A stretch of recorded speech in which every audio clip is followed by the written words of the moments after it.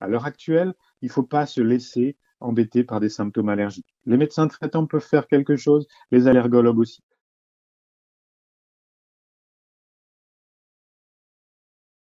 Guérir, c'est un terme très fort.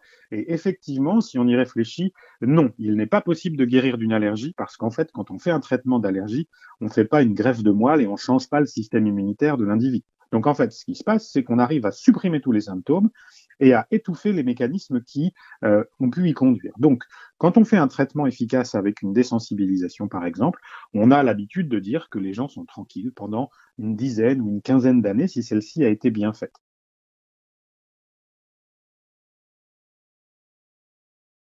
il est tout à fait possible d'avoir de nouvelles allergies qui se développent, surtout quand on n'a pas traité les premières. En fait, avoir une allergie, c'est aussi la euh, découverte du fait qu'on a un terrain qui y est propice. Ça s'appelle le terrain atopique. Et donc, une fois qu'on en a une, ça veut dire que malheureusement, on fait partie de cette catégorie de patients qui peuvent en avoir deux, trois, quatre, cinq, six les allergies ont quand même tendance à se développer euh, au bout d'un certain temps de contact. On ne peut pas imaginer qu'un petit bébé qui n'a vu que deux ou trois printemps puisse avoir d'allergie au pollen. Ça arrive, mais c'est extrêmement rare.